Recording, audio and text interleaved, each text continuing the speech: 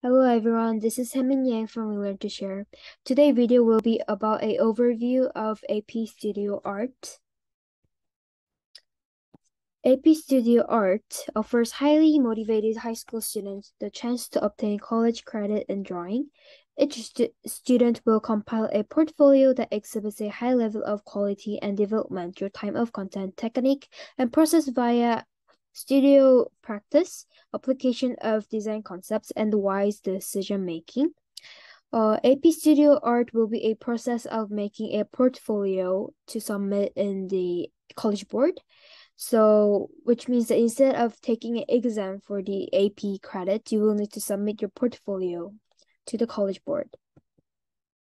There are three types of AP art courses. First, there are 2D, 3D, and drawing they need to for 2D students will demonstrate a thorough understanding of the elements of art and principles of design through an through an investigative experimentation of ideas, materials, and like processes using electronic media in conjunction but in various ways. You can do any of the what you want, just as like painting, drawing, digital images, printmaking, collage collage photography or anything just it just need to be 2D.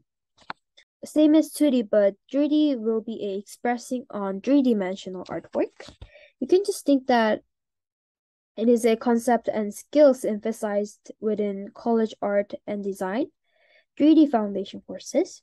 It is not just limited to ceramics, it can be illustration, installation, jewelry, sculpture, mixed media, fiber arts, digital design or design work, anything, but it just need to be uh, expressed in three-dimensional artwork.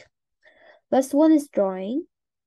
Students should consider marks that can be used to make drawings, the arrangement of marks, the materials and processes used to make marks, and relationship of marks and ideas. It can be drawing, uh, analog and digital both, painting, printmaking, and mixed media work are possible, possible, all possible for submission. Also, still images from videos or film are accepted. So most of people are pretty um confused with difference between 2D and drawing. 2D, you can just think that 2D is focused and applied on the design itself instead of composition of the artwork. So drawing will, should be little more focused on the composition and the shape and the line, little more the skills of drawing. And 2D will be more with ideas and well, maybe more abstract, kind of like that. And there are two parts of the AP art portfolio. You have to know this. One is sustained investigation and another one is selected works. Sustained investigation will be 15 digital images of art of works of art and process document documentation. It doesn't have to be 15 uh completed art high quality of artwork. You can submit some of your process of getting that uh, high quality artwork. You have to describe how your sustained Sustained investigation shows evidence of your practice, experimentation, and revision guided by your questions. And you need to submit as selected works. Uh, selected work will be a five physical works or high quality printed reproductions of physical works. So you should you have to pick five high quality printed uh, high quality artworks what you want to submit as selected works. So from your 15 images, you can pick five of them from it. You will require some writing for each uh, for sustained investigation. For each images, you need to write about materials, processes, size, and for five uh, and for selected works, you need to write ideas visually evidently, materials you use, and processes. And for your sustained investigation, you should make your own guiding question, which will be your topic. It can be anything what you want.